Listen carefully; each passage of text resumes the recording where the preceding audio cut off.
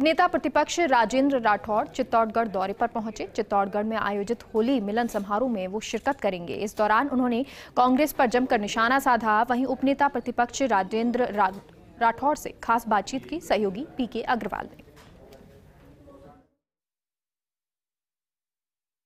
चित्तौड़गढ़ में भारतीय जनता पार्टी की चित्तौड़गढ़ विधानसभा का होली मिलन समारोह है। राजेंद्र राठौड़ यहाँ पहुँचे हैं, जानने की कोशिश करेंगे। क्या लग रहा है होली मिलन समारोह के माध्यम से एक चुनावी तैयारी? चुनाव चूँकि अभी 18 महीने दूर ही रह गया है, निश्चित तौर पर जो जो चुनाव वर्ष में हम प्रवेश करते हैं, राजनीतिक गतिविधियाँ बढ़ती है।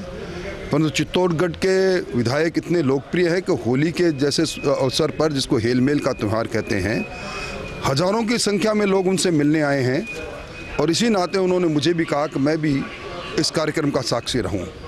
तो निश्चित तौर पर इसे शक्ति प्रदर्शन की दृष्टि से नहीं देखकर, एक लोकप्रियता की दृष्टि से देखा जाना चाहिए।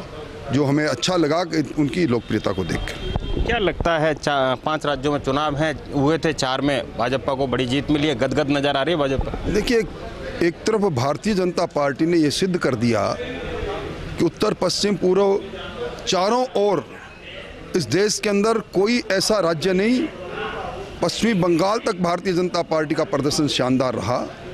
सर्वव्यापी भारतीय जनता पार्टी सर्वस्पर्शी भारतीय जनता पार्टी अब उभर कर सामने आई है।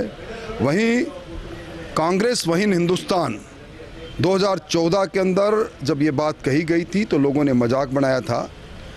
आज देखा जाए तो कांग्रेस एक के बाद एक राज्य खोती जा रही है। इतनी दुर्गति। उत्तर प्रदेश में मैं लड़की हूँ, लड़ सकती हूँ, लड़की ऐसे लड़ी कि मैं दो और मेरे दो कि मैं सिमट कर कांग्रेस पार्टी रह गई। इसी प्रकार हमने देखा जहाँ पश्चिमी बंगाल में शून्य पर कांग्रेस आउट आउट हुई वहीं अब तक के हुए कुल 600 से ज़्यादा जगह पर सिर्फ़ सत्तावन जगह पर कांग्रेस पार्टी के एमएलए जीते हैं। ये सिद्ध हो रहा है कि अब कांग्रेस इस देश के अंदर खंड खंड के होकर बिखरने को तैयार है। कांग्रेस के बड़े नेता का बयान आया है कि मोदी के बाद निश्चित तौर पर एक बार भाजपा बिखरेगी। अपन को संयमता बरतनी चाहिए। ये मुंगेरी लाल के हसीन सपने हैं। इस मुल्क में किसी ने सोचा भी नहीं था कि एक चाय बेचने वाला व्यक्ति देश के सर्वोच्च पद पर एक बार नहीं, दो बार विराजेगा विश्व का सबसे लोकप्रिय नेता बनेगा। भारतीय जनता पार्टी में कार्यकर्ताओं को पैदा करने का ऐसा कारखाना है जो कभी रुकता नहीं है। इसलिए भारतीय जनता पार्टी की कोई चिंता नहीं, कांग्रेस अपनी गिरेबाम जाके देखे। तो ये थे राजेंद्र राठौड़। इनका साफ़ शब्दों में कहना है कि निश्चित तौर पर भाजपा ने जो उम्मीद की थी और जो नारा दिया था कि कांग्रेस विहीन देश होगा, निश्चित तौर पर उस तरफ़ भाजपा बढ़ रही है। वहीं उन्होंने कांग्रेस पर भी तंज कसे हैं। कैमरा पर्सन चंद्रेश जैन के साथ P K Agarwal, first India news Chittorgarh.